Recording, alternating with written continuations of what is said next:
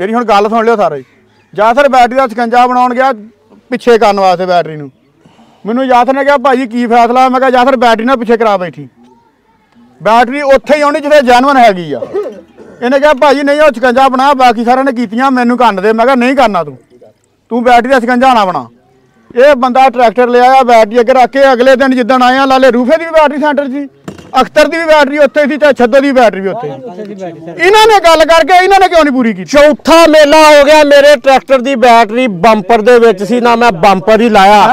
ਇੱਕ ਵਾਰੀ ਵੀ ਸਾਬਤ ਕਰ ਦਿਓ ਮੇਰੇ ਟਰੈਕਟਰ ਦੀ ਬੈਟਰੀ ਪਿੱਛੇ ਸੀ। ਕਿਉਂ ਨਹੀਂ ਕੀਤੀ ਇੱਕ ਵਾਰੀ ਵੀ ਸਾਬਤ ਕਰ ਦੇਵੇ ਕੋਈ ਬੰਦਾ। ਇਹਨਾਂ ਨੇ ਬੈਟਰੀ ਦੀ ਗੱਲ ਕਰਕੇ ਕਿਉਂ ਨਹੀਂ? ਜਾਸਰ ਨੇ ਮੈਨੂੰ 2 ਸਾਲ ਇਹ ਚੀਜ਼ ਦਾ ਲਾਮਾ ਦਿੱਤਾ। ਉਹਨੇ ਕਿਹਾ ਕਾਦੀ ਕਮੇਟੀਆਂ? ਮੇਰੀ ਤਾਂ ਬੈਟਰੀ ਆਉਣ ਨਹੀਂ ਦਿੱਤੀ ਉਹਨਾਂ ਦੀ ਬੈਟਰੀ ਆਉਣ ਦਿੱਤੀ। ਮੇਰੀ ਗੱਲ ਸੁਣ ਲੈ। ਅੱਜ ਹੋਣ ਡਈਆਂ ਗੱਲਾਂ। ਹਾਂਜੀ ਆਈ ਗੱਲਾਂ ਕਰੋ। ਹਾਂਜੀ ਆਈ ਗੱਲਾਂ ਕਰੋ।